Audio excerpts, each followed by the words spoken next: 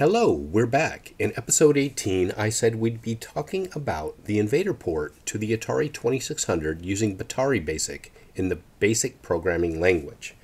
What looks like the official homepage for Batari Basic seems to no longer be up to date, and since I'm using an IDE with Batari Basic, I'll be showing you some more current sites related to developing with it. The official page for Batari Basic has some links here. And if you go to the random terrain, Atari Memories, Visual Batari Basic Guide, you can download Visual Batari Basic and Batari Basic, the program. Once you install the Visual Batari Basic IDE and unzip Batari Basic somewhere on your computer, you'll need to download the Stella Atari 2600 emulator and make sure it's working. After that, you can run the Visual Batari Basic IDE and under the Settings tab, just point to the locations for the Stella emulator executable and the 2600 basic executable. Now you can create a basic program for the Atari 2600 using BASIC instead of 6502 assembly language, which was the Atari 2600's native development language. And the best place to look for information on how to do this is back under Atari Memories, Batari Basic Commands. So let's take a look at the code for Invader in Batari Basic in the IDE. We'll open my project folder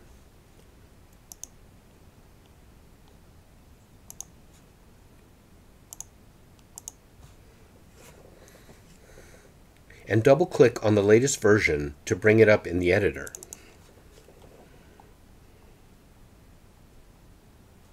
Visual Batari Basic also has some tools built in you can choose from the Atari 2600's palette from here. We have the sprite animator and editor. A graphics converter, I have not tried this out. There is a music and sound editor, a sound generator, and several other tools built in. Now all we have to do is click on the Run button to see it run in the emulator.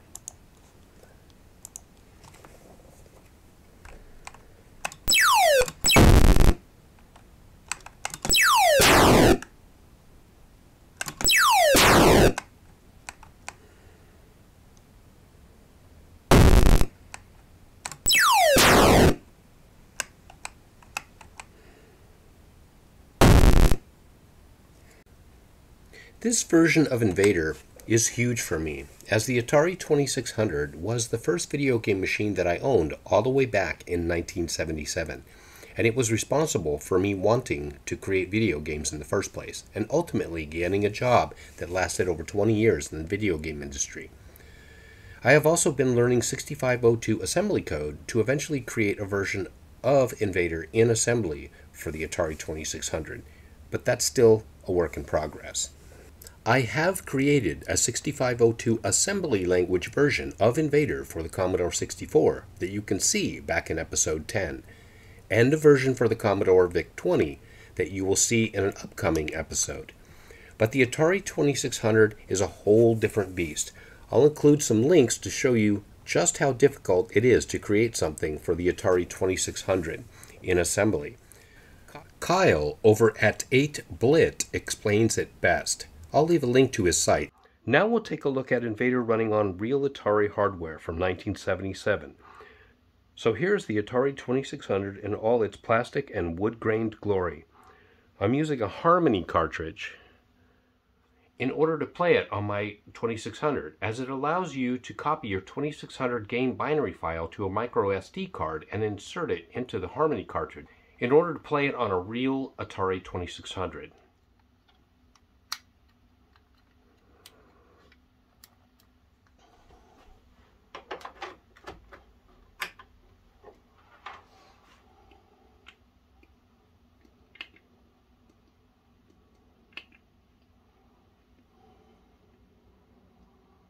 Sorry for the terrible reception, as these old machines broadcast onto a television channel and were subject to interference.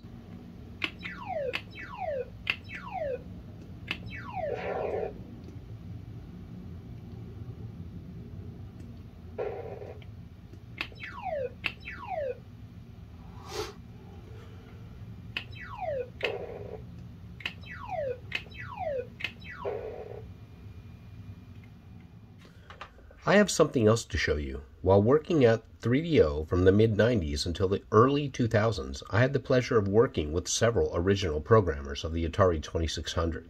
These guys were kind enough to sign some of my original Atari cartridges. I have a Yars' Revenge, an E.T., and a Raiders of the Lost Ark, signed by none other than Howard Scott Warshaw. You need to read his book, Once Upon an Atari. I'll leave a link in the description. It's a must read. I also have a Star Voyager, a Dragonfire, a Moonsweeper,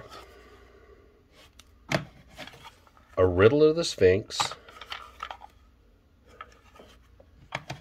and a video pinball, all signed by Bob Smith. And a Pac Man, signed by Tod Frye. A strategic space combat game signed by Rob Zdybel. And a Taz signed by Steve Woita. These are absolute treasures to me. So that about wraps up episode 19 of my journey in game programming. Please like and subscribe and leave any comments or suggestions you may have that could make these a better experience. Next episode, I will be showing a port of Invader to the Sony PSP, programmed in Lua using the Lua Player Euphoria software. Until then, bye. I'll talk to you next time.